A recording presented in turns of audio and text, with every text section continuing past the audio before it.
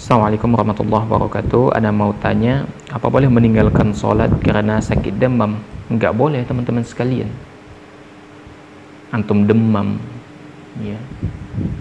Hanya demam saja itu ya tetap wajib sholat Kecuali Antum koma misalnya Antum haid ya. Itu baru.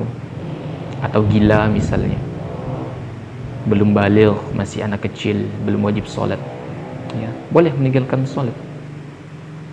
Tapi kalau sudah dewasa kemudian hanya demam sakit demam saja maka tetap wajib sholat. Bahkan dalam kondisi perang. Kondisi perang itu tetap wajib sholat. Kondisi perang. Lantas bagaimana dengan demam? Hanya demam saja. Maka jangan tinggalkan sholat hanya karena demam gitu.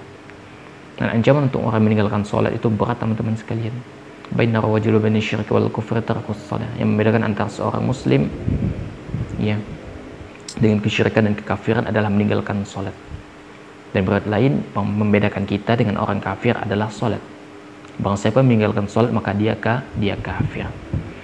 Maka kata para ulama ini berat nih meninggalkan dosa ya, meninggalkan salat ini berat sekali.